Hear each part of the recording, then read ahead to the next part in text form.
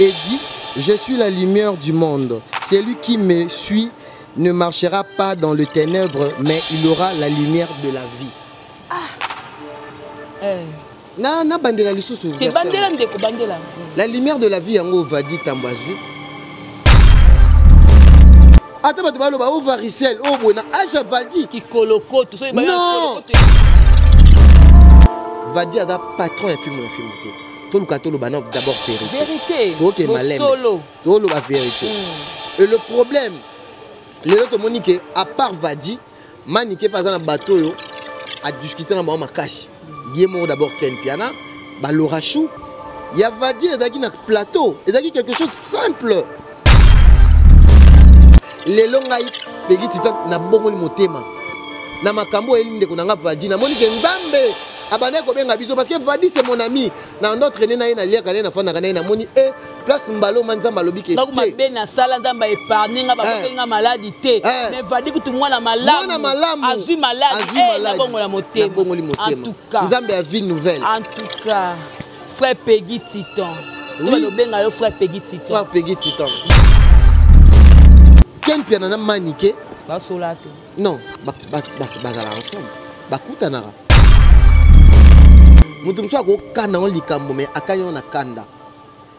mais d'abord mpona koloba comportement ya manike na vadi je pense que lelo tokomona témoignage bato baoloba plus tala fimbu na fimbu oh, atika ko te eh. atika eh. atika mais le problème eza ke lelo vadi tambwe aotémoigne monene ya nzambe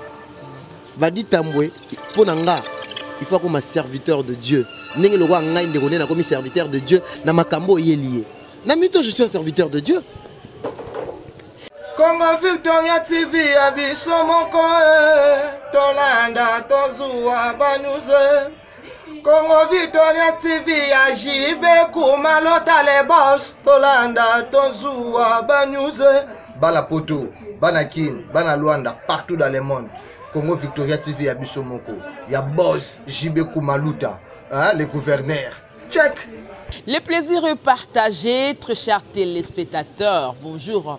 Bonsoir, ça dépend de l'heure à laquelle vous êtes suivre cette émission. Bien, je suis là. J'ai Mima Ibele, le gros bébé de la presse congolaise, la fille qui dérange, autrement dit, la femme du patron. Hein, Bolingana Mibenga, Bongo, donc, euh, Binotu Boyebi, Internet, Balobaka, Église, Internet, les Amboka, Bana, Bana. est-ce que slogan wana eza mpenza na place nango parce que biso tomoni ndeko na biso valdi tambwe oyo lelo babwakeli ye maladi tobenga yango maladi ya ligorodo tobenga yango maladi ya kolokoto tobenga yango maladi ya mpese alors bato na bato baza na bakombo oyo bapesi maladi wana parce que jusque là toyebi kombo na yango te esali biso so mpasi monde na biso ya presse eza na mawa soki lelo boye tosalaka baguerre moko toyebi yango eza nango loyal eza nango ya motema te me ya monoko mais komi ti lelo kobwaki bato maladi en tout cas eza passe tout le monde en parle et pourquoi pas biso mpe toloba yango ana congo victoria nakoya lelo moko na biso oyo bebi asalaka baanalyse bien c'est ntango bino jemima zwelaka biso ye eh. malgré ndenge ye moko amataka mpe mato elingange mpe parce que arefléchissaka très bien nabombi ye nanu napesi d'abord merci beaucoup à gisoloy aza nsima camera aussi merci beaucoup à notre boss JB Koumaluta le vrai pétrolier de Dallas, les boss très très charismatiques. Hein? Merci depuis bah, Dallas. Voilà.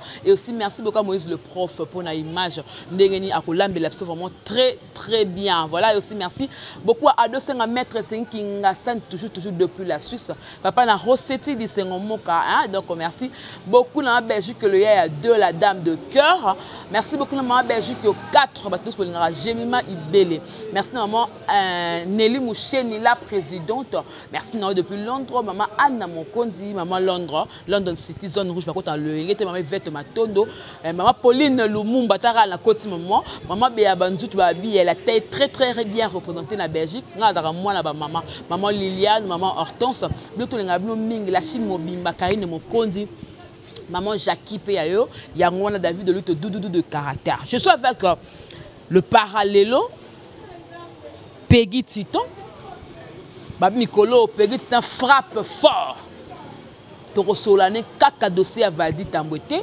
tokokota mpe par rapport oyo etali musique mpo analysaka mpe bien gisolo efungola ngai na invité na ngai mpo esala plaisir na mon vieux dadi mabibi mokolo ya mombele na paris na comité claire na hollande bato bolingaka gemai bele je suis là avec Yemoko Peggy Tito le Parallelo. Peggy Tito, bonjour. Bonjour, euh, Jemima Ibele, le gros bébé de la presse congolaise. Grand merci Nayo, grand merci euh, na ba chers abonnés nyonso bazolanda biso na Congo Victoria na moni vraiment ozo travailler arrache pied. Merci beaucoup pour na ko communiquer ko informer ba chers internautes na biso bato balandaka biso. Merci na ya lele kulele parce que nga déjà sinazoi déjà mai ya sangamboyo. Mai ya sangamboyo ndenge. Ya lele kulele mtayele nga pona minute na lokola donc antibal. soki obeti ozwanga te eh, ya lele kulele ah, ya lele kulele napesi merci beaucoup na ya lele kulele merci aussi na pasteur walesa okende ozwa mai pasteur walesa merci aussi naa na bapasteur mikolo naozala na bango pasteur baraka modisho oh, oh, me naza mwana bamama na ya bapapa te eh. nga makambo oyo deja oyo elivadio nga namonaki yango deja de loin mabe ezoya na internet eh. namonaki yango tana banda loba ya lele kulele ya lele kulele oyo oh, ya lele kulele obwakaka wana atekaka diamba me nzoka nde père spirituel ya yo ya nga na papa na nga baraka modisho père spirituel hmm. papa na nga walesa yesu basala nde bakotaka na sa makolo babimiso na ndenge asi nga jamais babi vraie protection eza ya nzambe hmm. yesu basala nde vraie protection eza ya nzambe jema ibele moni nga nayebi nzambe eh? nayebi nzambe mais epesa nga mawa ya komona ndeko na nga frère na nga vadi tambo ya kokóma na baniveau donc ça veut dire ke mokili oyo esebebaka nango kala lelo kaka ndenge wana esikomo bato bokomi komona ke nde basali valdi boye booloba ke mokili ebeba deja kala bato ya mitema mabe mm. deja bazalaka deja mm. ngai napisako kaka mbote namoni deyo koti mm. deja na dosie parce que naza vraiment naza bien te oyiki nalali te na butu mobima mpona oh mais et on dirait jemima ibele ne nazalaka nao boye problème eyeli yo est ce que naozala na kimia na motema yo na vadi tome bozala na barelation ya bien oh mais nga vo na voyage neke russie vadi afandisaka na ndako ne baloba lele chez elave en famille toza mibali toza bahumain tokozwa baproblème mais sukasuka tokobongisa bobebana ye mpe non totikala kobebana te hmm. moi je garde de bons souvenirs ya vadi ngai na ngai nakende russie ngai nazonga epai na biso vadi abisi ngai yaya toyebana pamba ya ofana epai na nga eh, ya ofana epai na nga yango omoni mpe nzambe akabundi walesa nzambe ya barata ya modisho abikisi vadi tambwe nzambe ya bamama parce que bamama ndenge baza bona minute oyo toyaka na besoin bato bacontribue mpo na vadi financièrement te toza na besoin bato bacontribue mpo na vadi spirituellement ah, parce que maladi wana hmm. omoi balobi eh, nga mpo na nga naolinga te maladi ya vadi ezala na retour epai ya motu mpona nini nalingi babi retour à l'expéditeur bon biso tosala bon dieu vadi asala yango te eh. aza maboko pembe atika nzambe ajuge atika nzambe ajuge oh. vadi akota te na makambo ya molili akota te oyo bato aluka motu atika parce que il est le dieu mm. qui donne la solution mm. aza nzambe oyo parce que même na bible baloba yango te abike guerre nyonso ereya contre yo ngai nazali ah. guerre nyonso eyaki contre valdi mais nzambe azali te hmm. bato mosusu balobi yo keno valdi fa akufa le premier valdi yango akufi te jusque là motu moko te alobi yango ken mpe nasali émission alobi ke basala nzambe bapesaki baprophétie ken mpe naza nzambe aza mosala nzambe te alobi basala nzambe babaki non mais c'est ça liwe ezalaki mais que prophétie wana confirme te mais prophétie wana eza ke ebongo baprophétie mosusu eza baprophétie ya lokuta eza baprophétie vrai le 1er mars bakende na vadi ndeko na biso vadi mosika bazali na besoin vadi akufa vadi aza orphelin de père et de mère bakendaki na ye bato oyo basali vadi makambo oyo parce que eza maladi oyo eza na maboko ya motu ata bato baloba o varicelle oyo boye na age ya valdi kikolokoto soki ya mikolo jamais hmm. jamais ekosimba te mm. soki ezalaki kikolokota ya, ya, ya, ya, ya kimokolo lopitalo place bazalaki na valdine centre wana bazalaki na valdine mm. bange baloba jamais eza kaka na bango te bakende mama yebo mm. donc ezalaki déjà plan demoniaque oyo bayebaki ke non so vadi bakende na hôpital hôpital boye bakoepuse boye mpo ya vadi ake kokufa heureusement saint esprit famille ya valdi bazalaki eveye balobi te na pasteur na pasteur de pasteur eh. te na abi pasteur alime te pasteur dodi eh, pasteur dodi mm. heureusement parce que eza biloko mosusu oyo ezali omoni bozwi aveuglement mm. bozwi bolembu moko boye ah, bokomi kaka osalaka makambo yani heureusement bango bazalaki vraiment éveillé batali balobi ke maladi oyo eza spirituel bamemi vadi na église mm. place bamemaki vadi na église place vadi azwaki guérison parce que nzambe omoni badoktervadi azwi guérison nde donc seke yo deja oyebivadi aza guéri pourquoi parce que vadi aza en vie aza en bonne santé ah. omoni badokter badokter bakosala mpe test eza faux mm, badokter bakosala test eza faux mm. mais nzambe le dieu de la bible aza nzambe oyo aleki meme badokter na mayele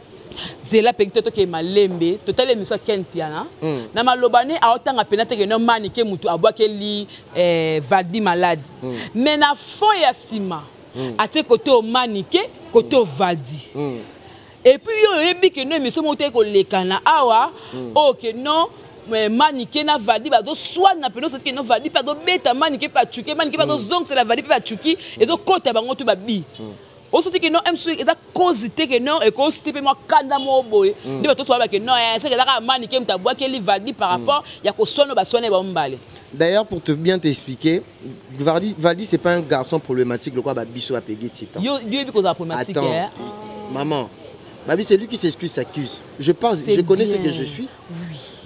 vadi c'est un garçon très poli très calme mpe en plus vadi ayebi osolola azalaka garçon moko aye na bandal aokende au moins ba 2 3 ans vadi aswana te alinga mwasi ya motu te azala na rankile na motu te oyo nga valdi nayebi oyo oh, mpe oyo oh, nga nayebi le problème eza ndenge nini manike de john mm. amare na biso voilà. mais de fois adebordaka na balangage eh? na balangage omoni ya ndeko ya jemima yo olobaka te wana problème ngai na yo lukelo problème oyebi bato nde bakojuge nga ah titan tika eza nango ndenge na yo jemima alobaka te c'est comme valdi avec manike déjà il y avait eu de problème entre manike et ken piana na fimbu na fimbu valdi aza patron ya fimbu na fimbu te toluka toloba na d'abord vérité vérité toke malembe toloba vérité hmm. et le problème lelo tomoni ke à part vadi manike mpe aza na bato oyo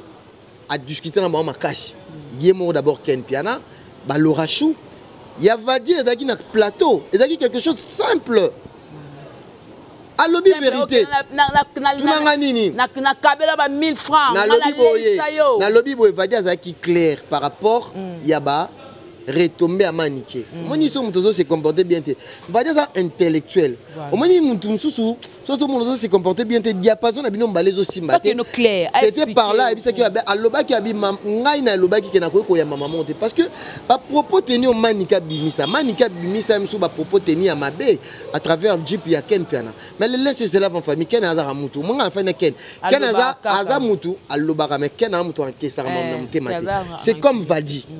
vadi aza garçon moko akangaka makolo te mais extreme ezalaki en émission il a parlé ça mais tala nde na niveau bakomaki poani bato balingaki te faye bakata mpe baparti wana parce que base chamayaki vraiment ekomaki ya motema mm. tolongola wana lelo vadi problème eyeli ye na makambo eza spirituel bakiza d'abord mutu tie po eza spirituel tu vois mm. mutu mosusu akokana yango likambo mais akani yango na kanda mais d'abord mpo na koloba comportement ya manike na vadi je pense que lelo tokomona témoignage ke baoloba nini bato baoloba plus vadi aza garçon mo problématique te il est pas impoli donc manike nde problématique nga nazoloba te nga nazosite nkombo ya manike te ko oboyeboye oh, manike nde mutu bwabwakeli vadi biso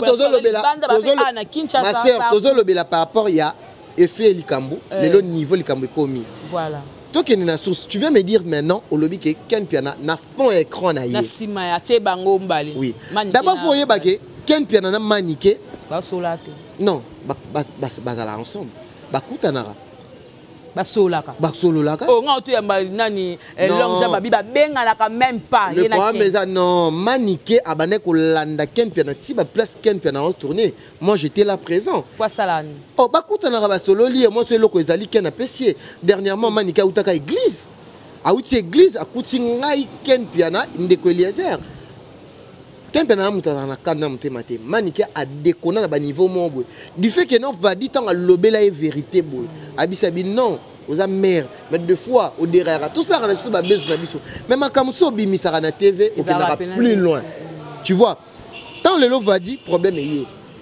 bato bakomi kaka kotala kaka source parce que babi ke manika loba nga natala video wana te manika loba mwa maloba moko boye omoni lelo mpe soki problème ezwaki vadi bien par exemple tosouhaite te ezalaki liwa wi ke manike par rapport ya maloba na ye mpe ebimisaki enga ezalaka suspecte tu vois mm. mais toloba te ke non mais manike te koloba te ke non oh, eh, eh, mm. valdi na kolakisa yo valdi na non là j'ai pas vu cette image parce que na video moko ya kala nde bazongisa non omoni omoni eza moi je veux pas cette image le problème eza nde nini na minute oyo tozala heureux parce que vadi akufi te vadi akufi te tu vois vadi aza orphelin de père et de mère vadi abokolaka mwasi na mwana c'est pas facile nous le jeune na kinshasa aza na pui moko te musala na ye aza intellectuel a chronifuati te aza chroniqueur culturel omoni lelo bato baolinga baprofite badiembela na nsima information on veut pas seulement parler de manike soki problème mpe eza na place x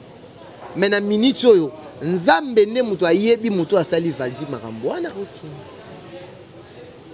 ezosala mpe propre te parce que na minute oyo soki manike akomi na niveau asala valdi bongo hmm. bénéfice nde ozala nini benefice ya manike eza nini mpo hmm. nasala bongo afandisa vadi bongo epuis bato mosusu balobi ke non na bacommentaire babi ah bakofinga hmm. ebele ebele bato bafingafinga mani ke abebabeba bato ebele toyoka te makambo te na minute oyo na minute oyo ndeko ndeko na ngai jemima ibele ezalaki na église au milieu du village bato oyo lelo bainterprete bazoloba parce que toomona vadi en vie hein.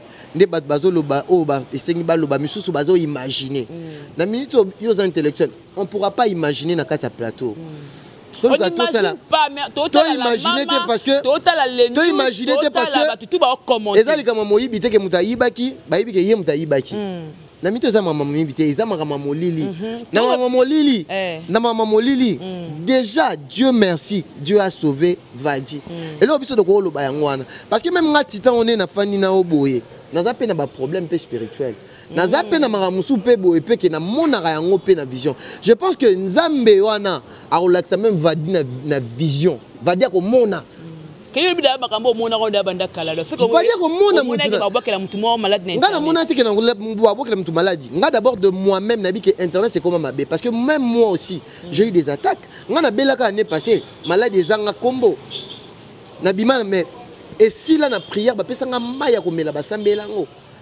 ma mère na ngai nakufa nasala deux mois na hôpital maladi moko boye donc ewutaka na internet bajalousie kaka mal placé ngai mpo na nga apart na tolongola na mwa mama nike lelo vadi aza fierté ya fimbu na fimbu voilà. lelo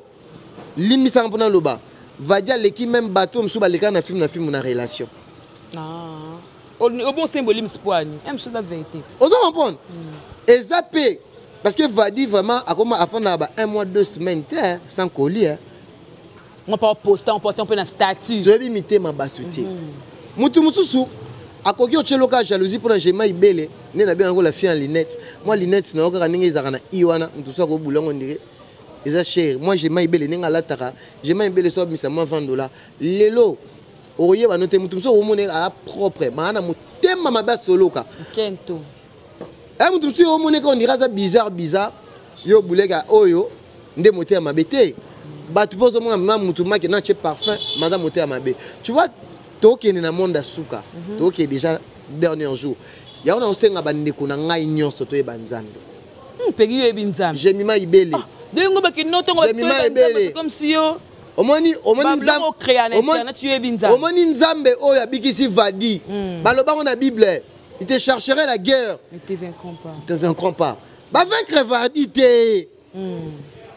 Ba vaincre Vadi te. Kauki déjà etikali ka eli esila nyonso. Mais je te dis. Hmm. ekauki vraiment tunanga nini omoni hmm. révélation famille ya vadi bazwaki ke bakende na famille na église, na église ezalaki saint esprit hmm. parce que so vadi akendaki mama ye mo lelo tona totanga likambo mosusu ah, ndeko na ngai mais na minute oyo toza na besoin koaccuse bato te vadi ayaki sauve na maboko ya diable me bato mosusu balobaka mpe soki babwaki oleti mbasu hmm. ezwi yo soki keke pa mpe koda mpo oyebi likambo tokango mpe bato mosusu ah, babwakeli ezwi mais ya plein des innocents eh. aussi oyo babima ba victime hmm. plein d'innocents hmm. kina yango milonga motema mabe koloba bongo te ndeko gemima eza na moto mosusu make no motu kaka aningi kaka afandise na se parce que soki otali vadi baa na besoin make afanda do atika na fimbu na fimbu oh, atika ko yaka te eh. atika eh. atika mais le problème eza que lelo vadi tambwe aotémoigne monene ya nzambe vadi tambwe mpo na nga il faut akoma serviteur de dieu ndenge lokola ngai ndeko nde nakomi serviteur de dieu na makambo oyeli ye na mito je suis un serviteur de dieu tika nakomi mosali na nzambe ndeko jemima nakomi mosalela nzambe yo nakomi kosalela nzambe mpona makambo ekomeli vadi nakomi kosalela nzambe tala kaka mero olobaka okomi kosalela dieu m'a appelé amen lelo nde naza bongo nabongoli motema nandingi nzambe comme seigneur seigneur et sauveur frère pegi titan frère pegi titan mm. Loin de Dieu. Voilà. nzambe abikisi vadi tambwe mm. nzambe ope abengi pegi titan yako aya na bilanga na ye aya kosalela ye eh. oh. donc soki nde oya bo mabe ya bato tosali bato mikolo oyo tu na internet senga mopeka bolimbisi mpo nzambe naza mwana ya nzambe naza mwana nzambe ndeko jemimaosenga mpe na bandeko mosusu oyo bolingi boprofite na beza vadi bobongola mpe motema ah, na baoyo boza na fimbu na fimbu eh. bobongola mpe motema na bino parce que bino kaka moto bokangaka bato bandoki nazosenga mpe na bino parce que c'est le signe de temps de la fin jésus revient bientôt ndeko na ngai kolinga te kaka okendaka olelaka epai ya nzambe oyo ozosimba te mais tandis que ntango obongoli motema te nzambe akosalela yo te amen il est le dieu il est capable de revenir meme obungisaki nzambe na vi na yo obungisaki makambo na vi na yo omoni lelo ba vieux ba nyama corps azo senga 50 dollars mpo na basalisa na minu azosenga 50 dollar me bandeko balobi ke yo te oza impoli tokosalisa valdi tambwe mwana malamu mwana malamu serviteur de dieu ah, balobi nzambe atika baoyo aye te omoni témoignage te eh. témoignage evadi ebimi vadi mwana malamu mm. vadi garçon moko poli vadi garçon moko asekaka kaka oyo sikoyo ozwi problème baloba nini mpo na yo o oh, ngai naza na batémoignage mpe ya malamu baloba nini naza na batémoignage ya malamu baloba nini yebisanga baloba nini pegit star aza nani olobi mosali na nzambe te pegit star moto baclash Mais ma classe avec intelligence. Avec intelligence. Avec intelligence. Moi, je manque. Ngana manque kate. Otira le monde ngate 15 jours na ko finga intimité mutu. Au monde ngo 15 jours na ko finga para mutu. Je viens d'une famille restreinte. Hmm. oyoki nga ndeko mm. je viens d'une famille restreinte naza na famille na canada famille tita makambo oyo mosusu nasala na internet ekamusaka bango mais au moins napesaka fierté na bango parce que bamonaki karine mokonzi aloba journaliste intelligent ntango babengo déjà nyonso place ebomaka makambo nyonso nga aza lokola banyama kor te nakoya koloba motu na makolo eyebani te quand il s'agit de parler de vérité nakoloba vérité quand il s'agit de parler de sérieux eloko eza sérieux nakoloba sérieux lelo ngai Peggy Titan na bongoli motema na makambo oyeli ndeko na nga Vadi na moni ke Nzambe abandaki kobenga biso parce que Vadi c'est mon ami na ndo traîner na ye na liaka na ye na fandaka na ye na moni eh place mbalo ma Nzambe alobi ke te mabe na sala Nzambe épargne nga ba eh. kokenga maladi te eh. mais Vadi kutu mwana malamu mwana malamu azui maladi azui eh, maladi na bongoli motema na bongoli motema Nzambe a vie nouvelle en tout cas frère Peggy Titan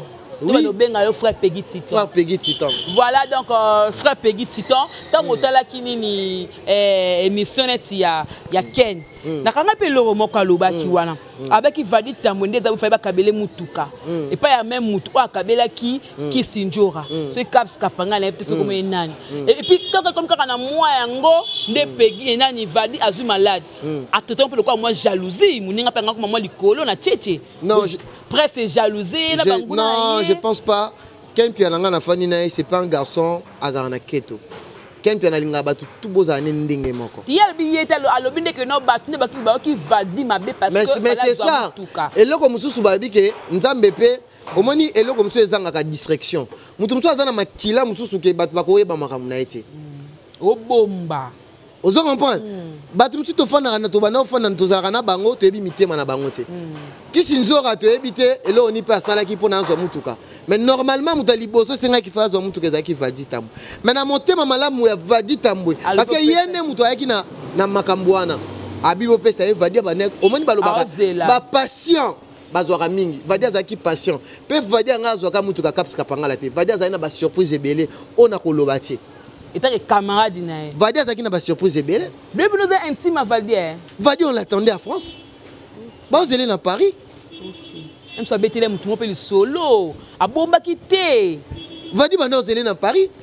vadi ezalaki na babenefice ebele bato nyonso banda koleka na filme na filme oyo bazalaki ba oyo bazali nabenga bango eh, limisanga baselect bayebaki koprofite te film na film ya grand chaine eza na odimate makasi siko moto ayebaki oyo azalaki na vision c'était vadi tamo parce que c'est un garçon intelligent mpe en plus aza sage patience avadi nzambe alingaki apesa ya ebele mhm. me bato ya, ya, ya, ya, ya milimo ya soloka ya miso ya soloka me ngai nalobi yango tout se paye ici bas vadi asala retour à l'expéditeur na motu te atika nzambe nzambe ya moïse nzambe oyo abikisaka abikisaka daniel na libulu ya bakosi ndenge babikisi vadi parce que vadi auti lokola na libulu ya bakosi soki otali za natanga te natanga eloko vadi akomi eh, ah. na, na profil na ye mpo omonake nzambe vadi na minute oyo auti mosika vadi il a écrit la vie nous, a, nous apprend à une rien lâcher à, à, et à continuer à nous battre un jour le mauvais moment ne seront que des souvenirs wow. na bandela la vie nous apprend à ne rien lâcher et à continuer à nous battre. Un jour, le mauvais moment ne seront que de souvenirs. kasi mpo oyebi ke oyo ekóma na yango kaka souvenir bavideo to akoma otala yango mais vadi azwi déjà loboko na nzambe nzambe asimbi ye mpe eloko moko ekoyela esu vadi te c'est fini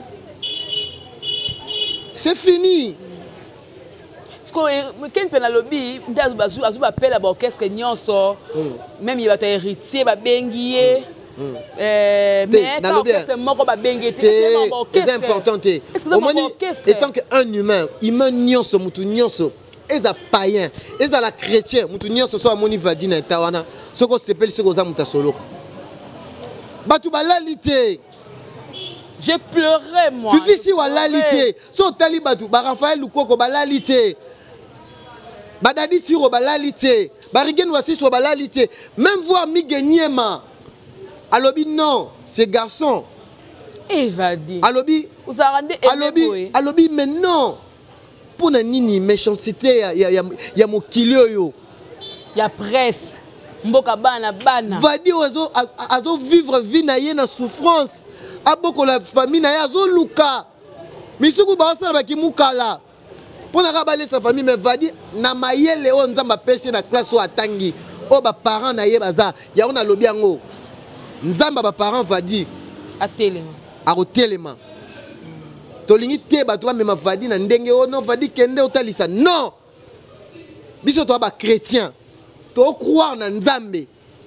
nzambe wana oyo akweisaka bato nyonso ya mabe nzambe wana mpe akokweisa bato ya valdi tokomona bango boye mhm. bato basali valdi boye tokomona bango boye mpe baefe ekowumela te mhm. ekowumela te na biso d'ici là frère étant donné kokomi mpe mosala ya nzambe do ntango ozoba mm. bongo seke mm. kala mingi te bapreuve mm. mais jusque là bato mosusu bakozala mpe réaction ya manike mais totali ba commentaire abeza na ndeko ya so moko aopekisa manike aleka na tv te aloba te mais na minute oyo manike il est pas censé de passer voilà. à la télé tant que humain avanda na ye esani soki manike ayebi ke aza innocente avanda puissance ya nzambe mm. même vision ya nzambe kolobela valdi mm.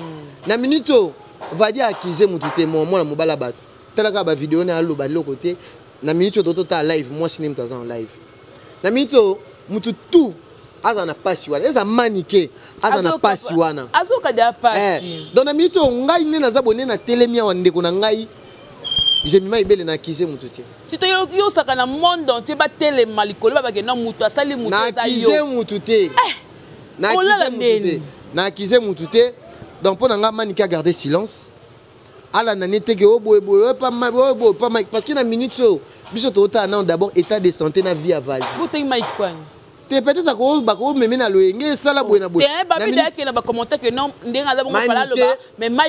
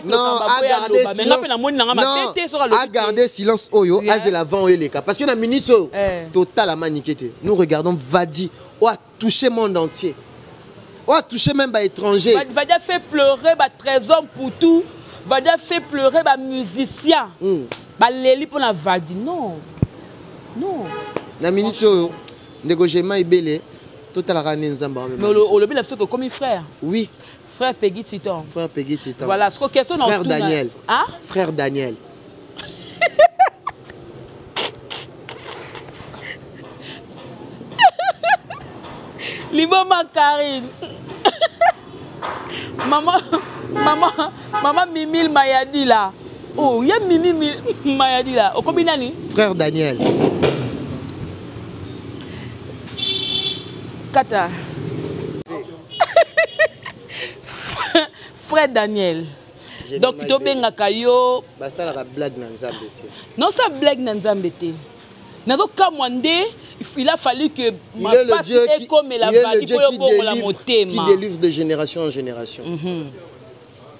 omoni ya mosusu okozwa leçon morale mm. ozwi leçon moko bomoni te te mm. okobongwana mpe à travers likambo à travers likambo moko boye esali yo mpasi olobi te ngai naza kotambola motakala nayebaki nzambe te parce que c'est lui qui est le, la lumière du monde mm. donc ye moto aleki nyonso mm -hmm. yango ka ifale ke moment ngo eya moment ngo eye mm. peki titan lelo frère daniel esali esengo te esali esengo me bato mpe balobaka ntango okomi obongwami hmm. mwa baverse mpe ekoki mpe remonte biso mwa hmm. to comprendre que dieu existe parce que kotalaka valdi na nde tomoni lisusu nde ekauki on sent ke nzambe azali hmm. nzambe azali verse bibika ya te ezali na ye te so nakozwa bible euh, so bakopesa nga bible eh, tito obongwami mpenza ko bakopesa nga bible très cher téléspectateur bandeko baolanda biso Eh. Je pense que tokotanga. Si tokotanga Bible.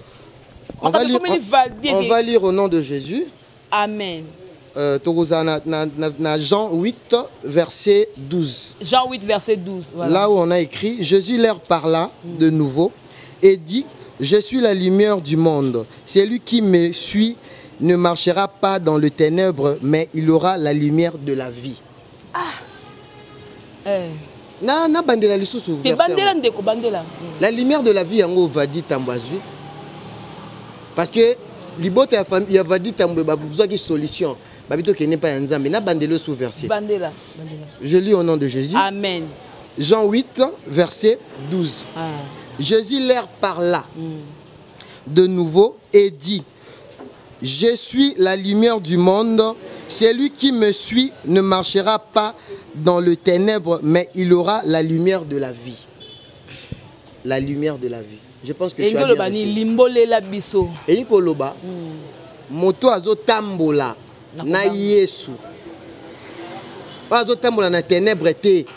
azotambola na baesprit impire te oyo andimeli nzambe comme jésus comme sauveur mm. ayeba yango azali na lumière ya bomoi elingi koloba ke ndeko vadi bamemaki ye bisika molili eh. me nzambe tellement aza innocent nzambe azongisi ye na lumière ya vie mm -hmm. donc euh, c'est jésus qui est la lumière du monde mm. yango eloko natangeli yo e marquer nga e choquer nga makambo tu oyo pegi titan auti osala dernièrement bino boyebi akoma pegi titan frappe fort lelo boyo bongo motema seke to classe à partir lelo okobakisa loba émission okomi lokola pasteur denis ndesi lokola roger baka otie mpe lokola yo frère daniel moi je suis un croyant je suis un croyant j'ai été sauvé kasi te nabi na ndeke nyonso mpe amutaba aya mwana mama miziki oloba na yo obongoli motema naza chroniqueur eh. na minute oyo j'ai accepté jésus christ comme sauveur bandaka londima ye te mais non eh. na ndima na ngai mm. mais akondima na ndimaka ezalaki vraiment ya, ya mozindo te ya mbala eza ya mozindo okamwe même temps natangeli yo verset elekeli ngai nakamwe te nakamwe mpena ya solo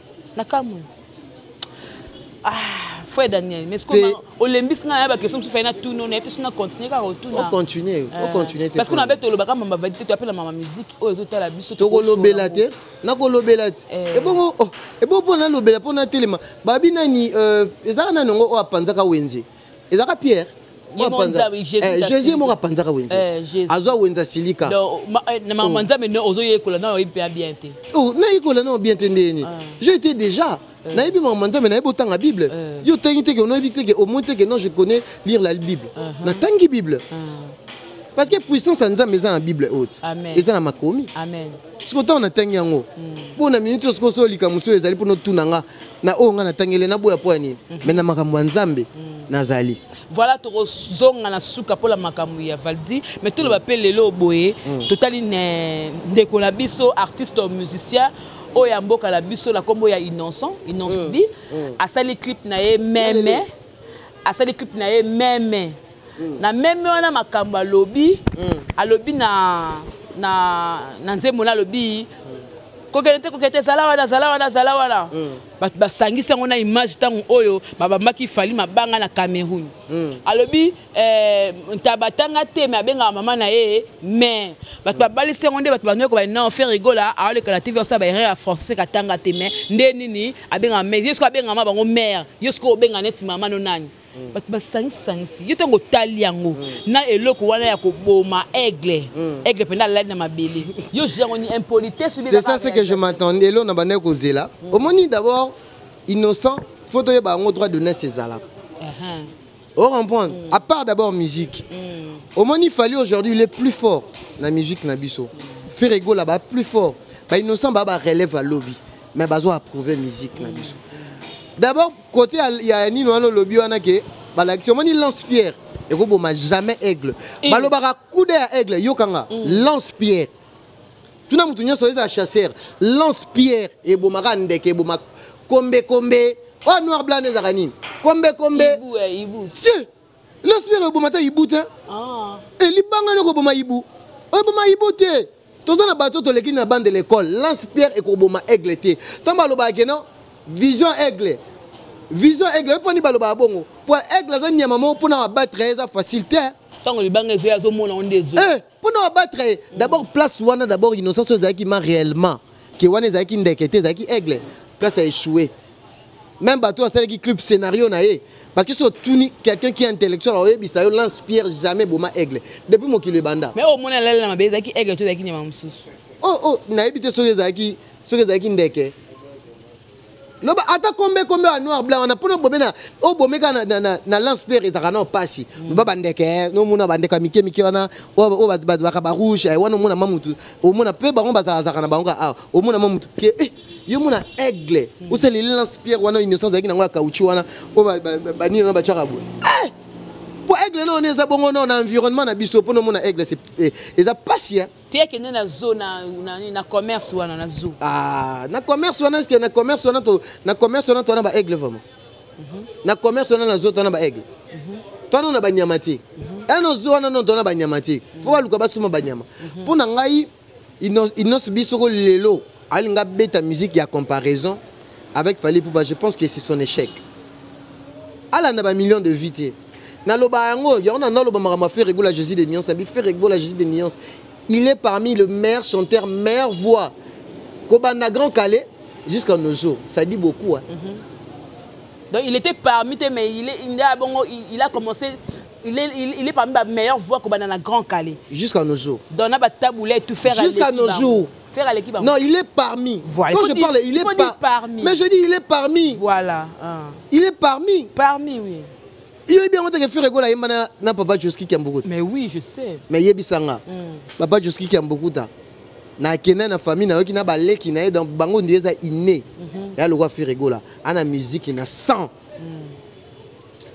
ezata l'artiste fali ipupa c'est pas facile yebi bato ebele na babandala baza bagrand musicien bayembaka danger leo babima te so naende otangelo bakombo bato nasi baotala ngai na poto balobaki nao critique mm. ebele mm. eza grâce innocent azwi grâce wana ya obima ya kobima mais aprofite nango te akanalize akanalize basentiment na ye bato bameme shoshoso take fali take fali take fali moi je parle de la vérité parce que image wana aigle so bato bakoki koloba te directement bato baomonake non c'est fali fali il est plus aigle il est maintenant double king et il est maintenant euh, empereur 4g empereur kkp ezali kkp 4g mais quand tu fais la fierté de la eh. musique congolaise eh. me lelo biso bandalunga mo bandalunga ezalaki bandalunga bamikala bana bandalunga banikaka ketch eh, me tala me lelo me lelo hmm. me lelo oyo oh, fali alobi ke no de bandal à paris peki titan aussi de, de, de kinshasa à moscou moscou place barefulaka wana mais c'est pas grave je suis avec jésus tu es avec, ouais, frère daniel je suis ouais. avec jésus frère daniel nzambe asalaka ba exploit moko boye oyo oh, yo moko koimagine te ke nzambe asala yango nde nini c'est imaginaire voilà frère daniel oyi na, na, na kaka na video wana nde nataleli yango mm. bato mosusu bapena eh, pena bajeton sikoyo mm. est-ce que mm. na âge nani mm. fallait kobota mais je viens de parler des droits de naisse non quand on parle de droit de naissance eh. droit de naissance ça existe droit de naissance ekoda mokolo mais nakobota parce que ya oyo nage age mona bamarcosis te wana nayebi te hmm. mais au moins fali pupa akoki kobota mwana lokola innocent mhm. c'est capable mhm. parce que ye akoza age mwana bakeina mhm. donc selon ntango otali clip maloba lobi na réalisation ebalani te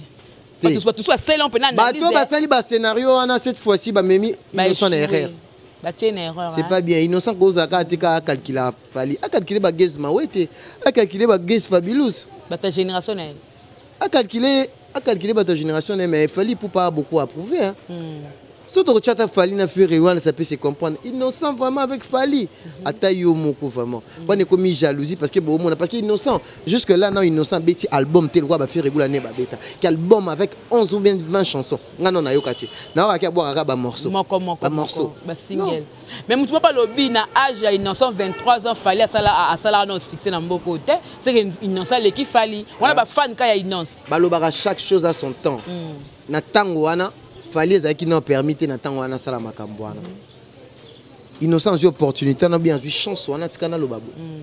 so azwi chance wana asaisir opportunité asala musique na ye atika parce que omoni na minute oyo bakinois nde ndu bakotya innocent na erreur te innocent mais innocent so otali de nature na ye boye abongo ah, ah, te bato nde baomema ye baokapare ye baolinga eh! Inasbi, inasbi, Frappe. sala, sala, sala, sala, sala. Inasbi a mutu na nga. Nasolaka na ye très bien. Mais alanda ba kinois te. Alanda ba kinois te. Mo ba kinois, mokolo azwa shit kale même ba kinois wana. Ba biso omoni, omoni atika ana inspiration. Aza déjà moto oyo déjà mpe aomema drapeau ya musique na biso toza na besoin bango nyonso toza na besoin mpe kaka motu moko te toza besoin ke batangi mpe innocent batangi fali batangi feregola batangi bina filet c'est ça travail de kipe mais biso soki nao comprendre ete eza kaka kodivise divise pour mieux régner mhm. est ce que wana vraiment mm. est ce que wana vraiment ematisa musique na biso ndeko jemima mm. bato babi atala no exemple mpe ya goute ndenge nini place oyo robino azalaki na ndenge akiti goute ebeti mais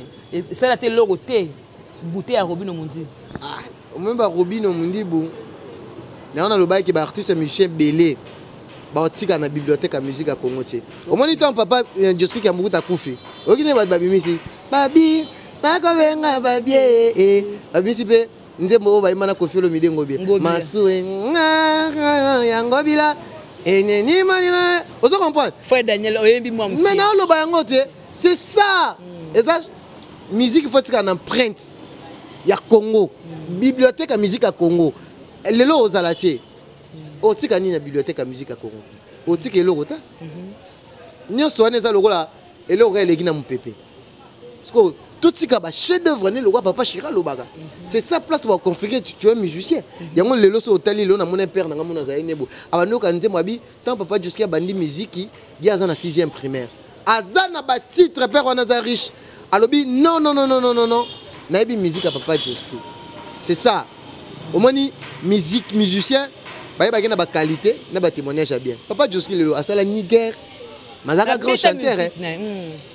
mais soki oponi lelo ezoboma bandeko na biso lelo ntango yo olingi okota na rankine na, na fali pupa so lelo par exemple bainvite bino par exemple na, euh, na, euh, na organisation moko boye bokutani na fali bosola te bino bacongolais esoni c'est la honte bolekani c'est la honte mm. mais tandis que make fere na fali bakokutana na challenge moko boye bapesani mpe mbote nde nini nde nini mais concurrence eza loyale mm. oyo epeka beti nyonso wana kaka honneur ya musique ya congo mais ce que bamusicien na biso lelo baocomprendre te ekomi baanalyse lokola vie na biso moto ya likasu bayebisi epa vie defa voi eza nanu ozongi nano miziki oh.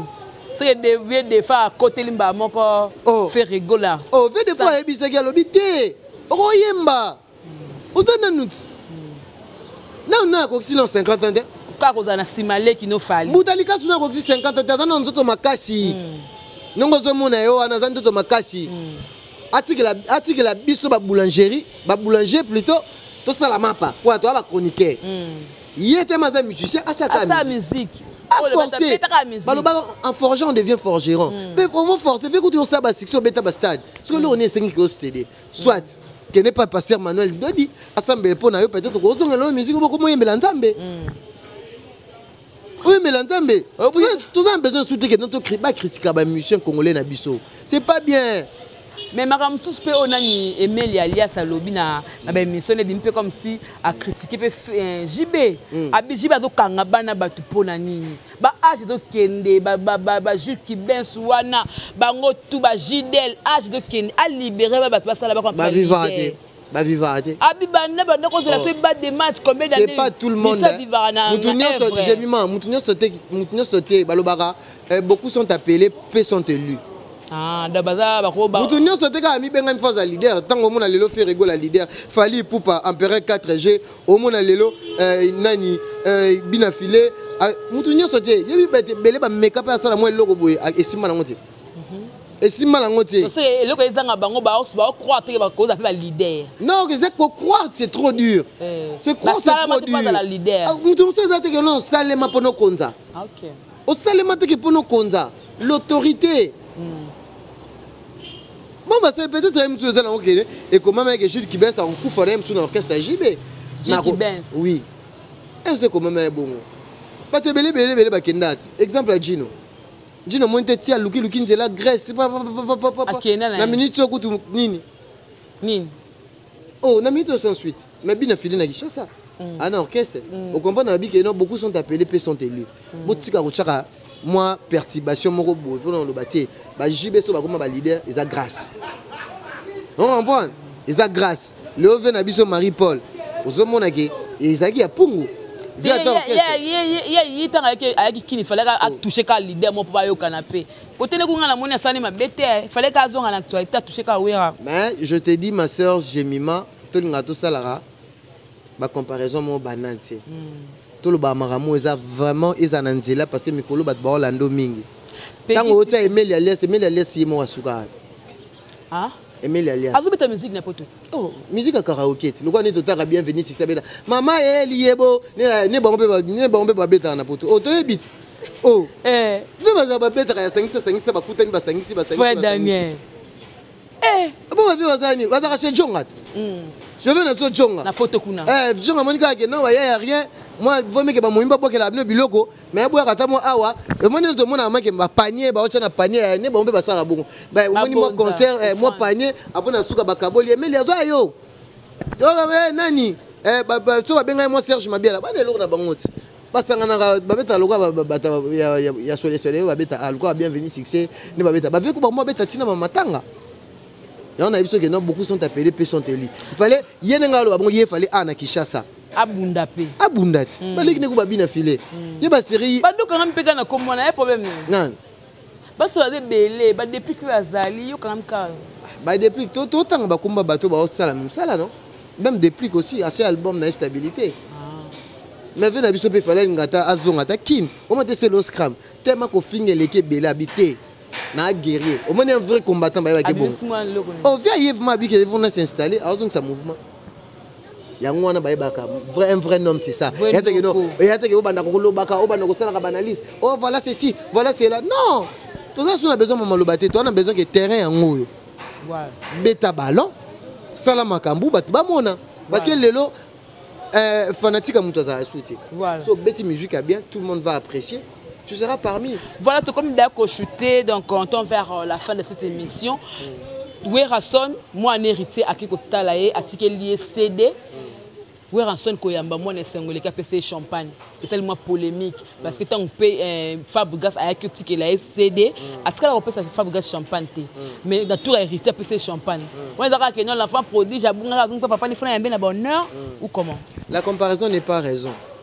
nde balobaka bongo mm. chaque chose a son temps mm. nzambe aza nzambe ya circonstance mpe ya temps e mosusu na temps ya héritier nde esengaki mpe mosusu eloko wana ebima eh, banda kojuge bobanda kosala boye banda kosala boye non peut-être wera asaleli plaisir na ye alobi ke non je dois faire cela mpo na mwana na ngai et surtout ndenge asenga ngai pardon c'est ça mm-hmm. Mm-hmm. eza na biloko moko boye naye na vie na ngai juste elukusa ayebisi ngai bipegi mm. limité procès de la gloire mm. l'orgueil procès de la chute na vie soki omikitisi yebaki ozwa ebele mm. neti ngai na minute oyo nayebi so eske nabombi nabombi lokuta nayebi so na minute oyo ma sœur jemima nakomi kosalela nzambe oyebisi ngai dokomi frère daniel tokangi da nkombo na yo frère daniel eske nini aza bongo nabuki lokuta na ye epai ya nzambe mais sikoyo ntango bomoni héritier aye epai ya papa na ye na komikitisa nyonso ayi papa na ye papa na ye amoni ke esengo eleki ye afungoli champagne eza mabe fo bosala ngo kaka comparaison o oh, boye na nani hmm. voilà donc merci beaucoup tokomi vraiment vraiment na suka mm. un mot par rapport à Ken Mpiana parce que makambo ya Valdy mais atike kaka orchestre ya mm. Ferre Gola mm. auti na kofinga maman ya mm. Ferre dossier yango kosili te ba image ezali ntango alobi bango bakolo bango bakolo dossier balobi bakoconfirme kafingi ba mama bango bonga na oloba nini D'accord, continuez. Eh. Mm. Mais tout le monde peut na makambo valide à que non. Mm. Oh ba beba na bango héritier, ba héritier ba bengi. Mais ya kana kese moko. Ti na tanga pasi, bala saka ki motema mabe. Mm. Et puis lobi na marque oza bi lokola yo lobi ko bimana ndeko na ngai ngai non to koma na l'état. mpo na nga nyonso wana eza ba distraction nakosenga na ken piana eh. makisai akendaka akendaka akendaka epai ya prophète emmanuel dodi oyo azali mosali na nzambe babi kopardonne moto eza force voilà. alimbisa mark auza ata alobi abima na ya na ye eza nango kaka makambo ya internet eza vrai te ata lelo bakomi na leta bamona bino na bino bacongolais bowelela nini ferre na fali bawelela nini basala concurrence eza loyale hmm. eza eloko moko te ata mark aus afingi angele moswahili hmm. amona angele moswahili wapi angele moswahili ana mbongo limité procès de la gloire kempiana abongisa mpe réputation na ye parce que akenda ya papa na biso emmanuel dodi oyo aza voilà donc euh, tokomi na biso vraiment na suka msu mpe koprésente bacondoléance na pasteur denis lesi epe pesi badédicace noko to clore ouais mes condoléances à pasteur euh, denis lesi oyo abungisi euh, son grand frère charles lesi nayeba papa charles lesi na matete wanga mpe nafanda na matete na veni india nini quartier na quartier nafandaka na matete naumela na mboloko eh. avenue mboloko nafandaka na donc mes condoléances na famille le plus artiste nzambe azala na bango Ah, abatela mpe kaka pasteur denis lesi malgré nzondo oyo ezocontinue toujours écran prophétique napesi ye mbote donc euh, nabosani te mpe famille ya, ya joski kiambukuta frank lesi mm. euh, bana na ye mpe bazoya kala mingi te moko ya londres ginette kiambukuta mpe azoya donc napesi bango tuma oncle joseph mm. oncle joseph na présidence donc oncle ya joski kiambukuta mm. papa na biso atiki biso siko oncle na ye mm. taka tobengana na oncle papa na biso joski kiambukuta e hey, pesa badédicace napesi merci na mama belgique de yaya 2 euh, mama na ngai mama euh, belgique euh, de yaya 4 ye ezalaka 4 eh? to 4 mama belgique 4 kaka kaka eh. mama ana mokonzi euh, bachinois bachinoise bamama autorité euh, rose bonbon rose bonbon merci mpo na appel mare ndenge olobi ke lobi na sir euh, vendredi na okota mwa wester ah. mare na nga rose bonbon merci olobi ke ah. pegi titan le parallelo so nazotala yo eh. namona onde on dirait émission esila te eh, eh, donc, la soupeta, euh, donc, la merci, soupeta. merci na chaîne euh, ya Rose Bonbon donc euh, mwasi Nzambe na pesi maman mère fashion de Nantes aussi na pesi un grand merci mère fashion de Nantes euh, vena nga juste lukusa ya lele kulele junior chamba papa na Just na Ethan na pesi merci na pesi merci aussi na na Tony Makika euh, l'homme c'est l'homme en cœur depuis Paris na pesi merci na bato nyonso balingaka Peggy Titan Chalet Chamba l'appellation bien contrôlée Jean Chamba Redo papa na nga Arsène Matondo depuis Canada euh, depuis Canada Henri Modogolongo HM Télévision Euh, Clairvaux Boula, million garçon de Paris, le baby face, Mado Boula, merci à toi aussi, Jemima, Nabo Sente, mon vieux JP Koumalouta, l'empereur, euh, na pesi mbote pe na pesi euh, mbote na basali na nzambe nyonso baola nanga passer à Pojika, passer à Pokasongo, azan à Kishasa, na pesi pe mbote. opesi badédicace mais libanga moko bwa la prochaine mm. hein, donc opesi badédicace trop mais libanga moko bwa la prochaine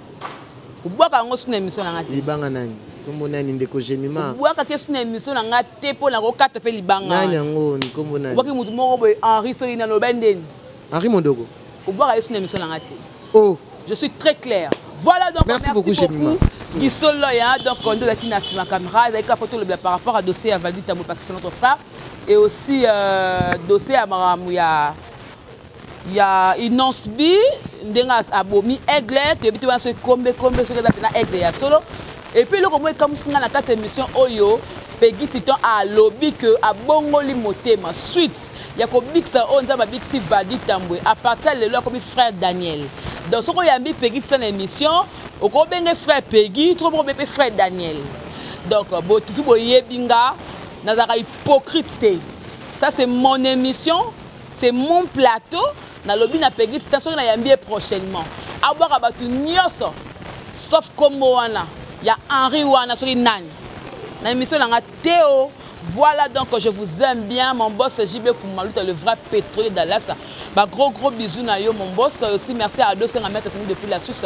Bah, lobby, euh, maman Nelly Moussine, la présidente.